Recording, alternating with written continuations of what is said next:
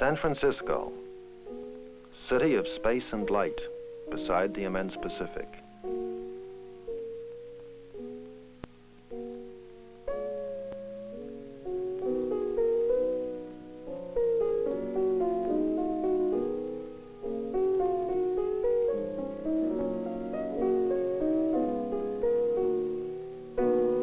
Here, near the Golden Gate, lives Ansel Adams, musician, mountaineer, writer, teacher, photographer.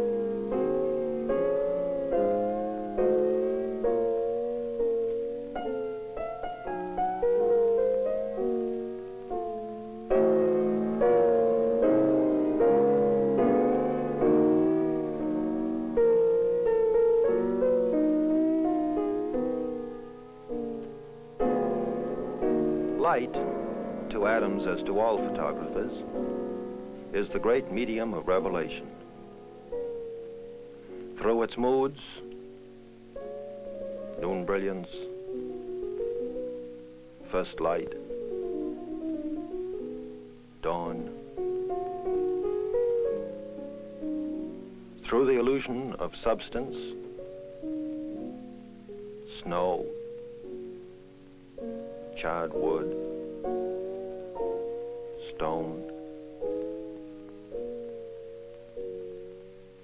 and the magic of a place and a moment, he conveys universal experience.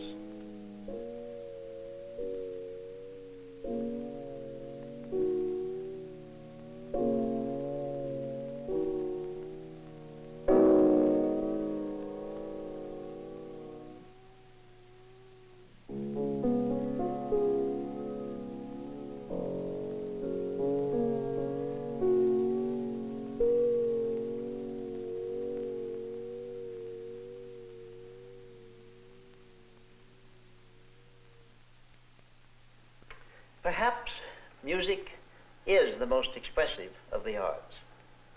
However, as a photographer, I believe that creative photography, when practiced in terms of its inherent qualities, may also reveal endless horizons of meaning.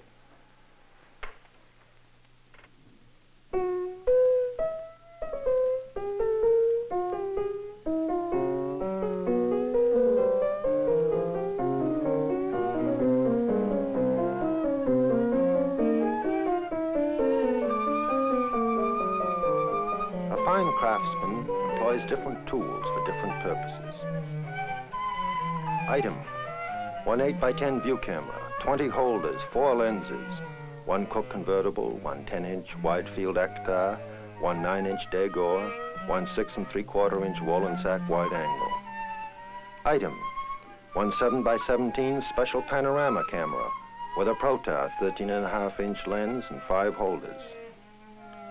Item, one 4x5 view camera, six lenses, 12-inch Collinear, 8.5-inch Apo-Lanthar, 9 and a quarter inch Apo-Tessar, 4-inch wide field Ektar, Dallmeyer Adon telephoto.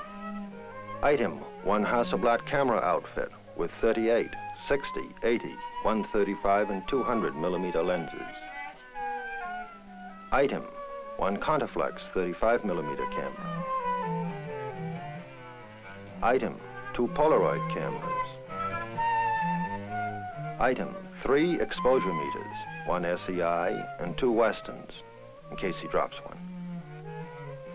Item, filters for each camera, K1, K2, minus blue, G, X1, A, C5 and B, F, 85B, 85C, light balancing, series 81 and 82. Two tripods, one light, one heavy. Lens brush, stopwatch, thermometer, level, focusing magnifier, focusing cloth, Hycolite strobe portrait outfit, 200 feet of cable, special storage box for film. Item, one ancient eight-passenger limousine with five by nine foot camera platform on top.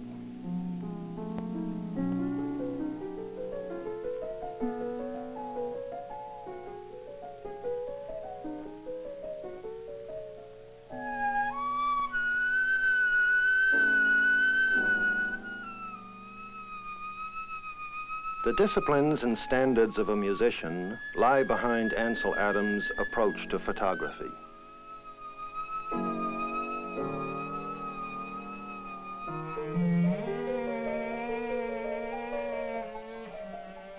Like every good photographer, he pre-visualizes his final print right here on the ground glass of his view camera, or with a miniature camera, right on his inner eyelid. Excitement over the image now gives way to precise technical reasoning. With a light meter of this type, he can measure the brightness of very small or very distant areas. Darkest shadow 8 candles per square foot. Light on wet sand, 2,000 candles per square foot. Place shadow on zone 1, high value will fall on zone 9. Normal minus development indicated. By such measurement, he can estimate what exposure he needs now and what development later. By the delicate balance between exposure and development, he attains the tonal range he wants in his final image.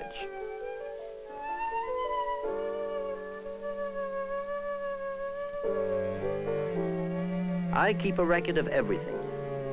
Film, lens, filter, lens extension, lens aperture, shutter setting.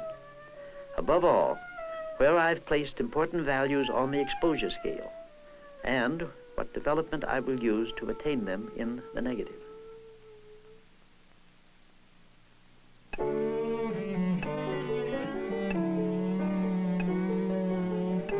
The negative looks adequately sharp all over. Shadow density is exactly on the right zones. A little camera flare helped the shadow density as expected.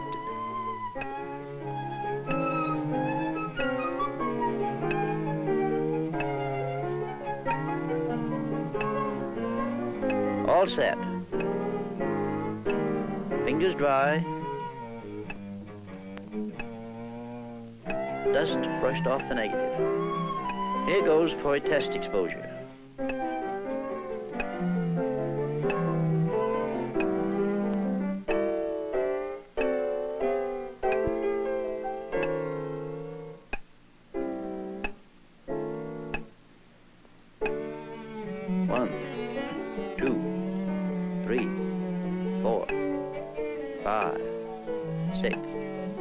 Seven, eight, nine.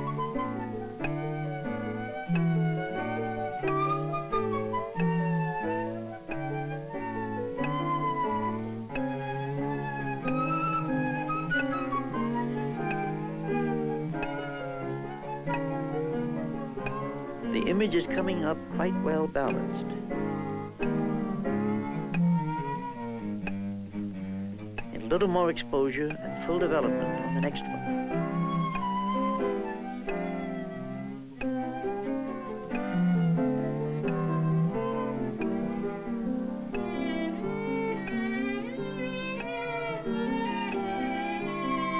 Here's the final print. The shadows come through as expected and the high values are okay.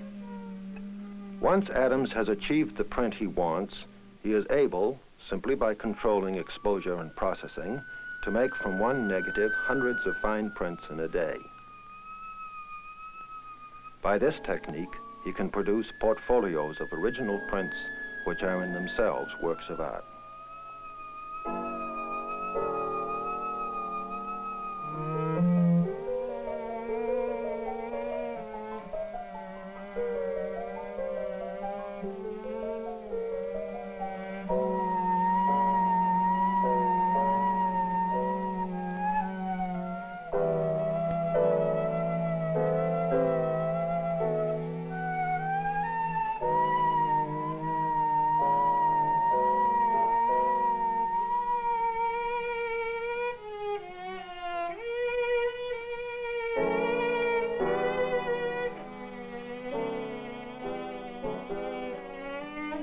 Translating his photographs into fine reproductions, Adams works closely with engravers and printers.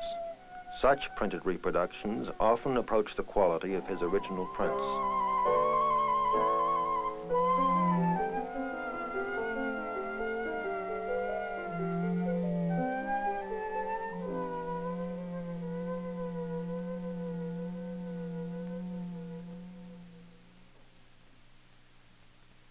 Photography to Ansel Adams is a profession as well as an art, and his standards are as high as those of an architect or engineer.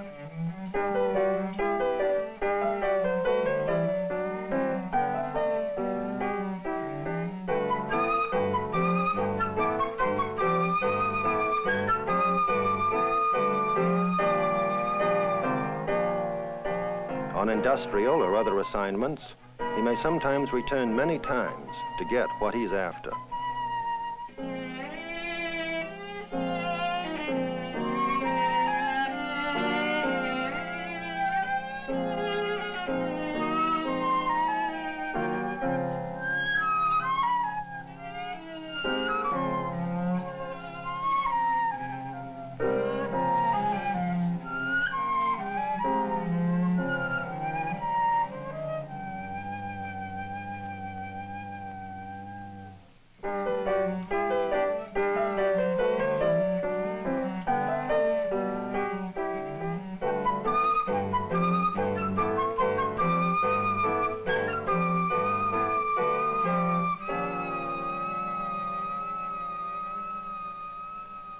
Takes over a client's problem from the moment it is broached to him to the moment of its final presentation to the public.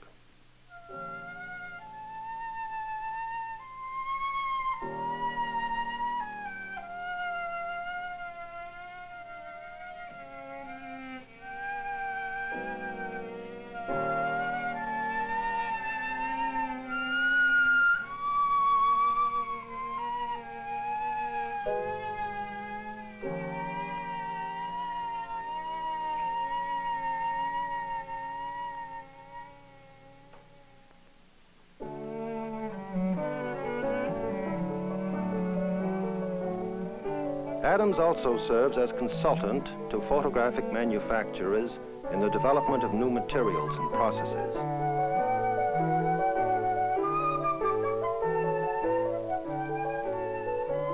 A friend working in his garden becomes the subject for a Polaroid film test.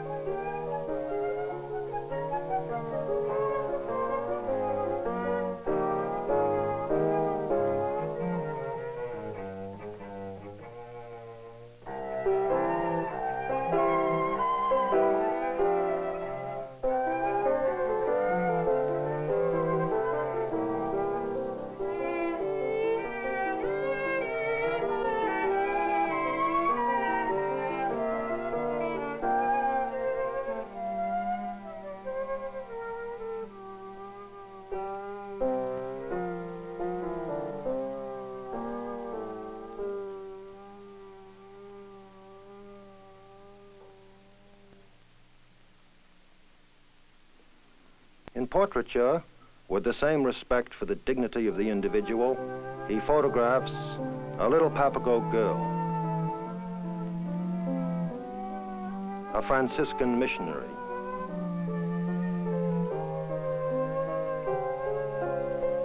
a writer,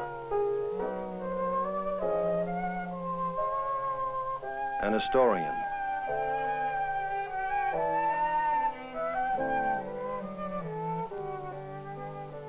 a musician.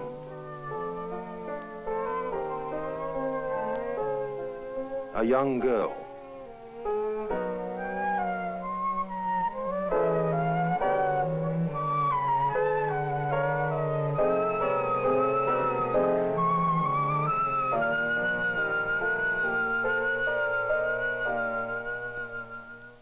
The photographers Edward Weston and Alfred Stieglitz.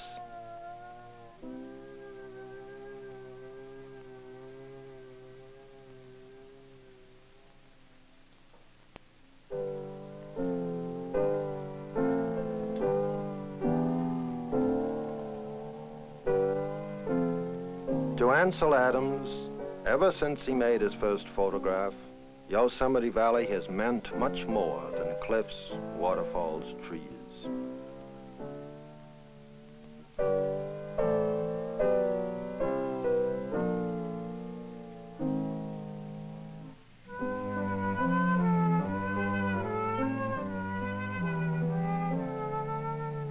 The great rocks of Yosemite are the very heart of the earth speaking to us.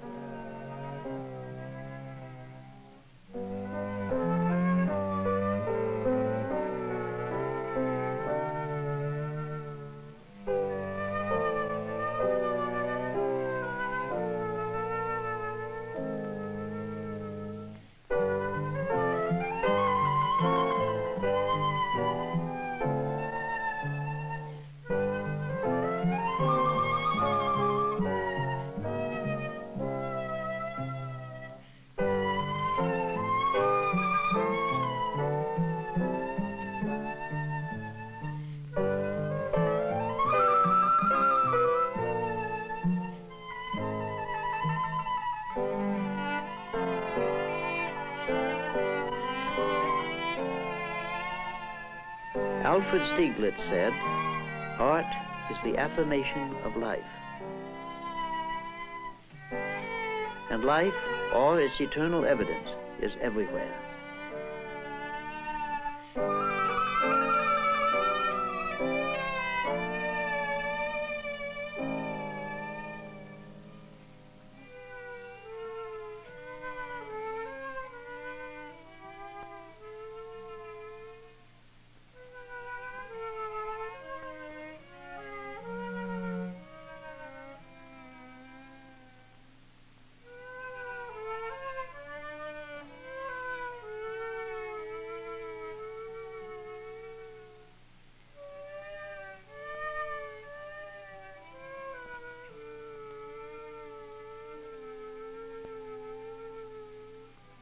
Expressions without doctrine, my photographs are presented here as images of the endless moments of the world.